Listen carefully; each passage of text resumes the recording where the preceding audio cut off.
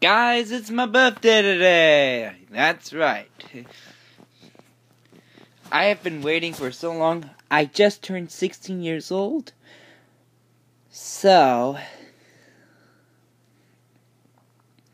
if you ever want to keep supporting, just keep supporting me on Golden Lock Human 1 and 2. And that's all I have to say. This is Golden Lock Human 1, signing off.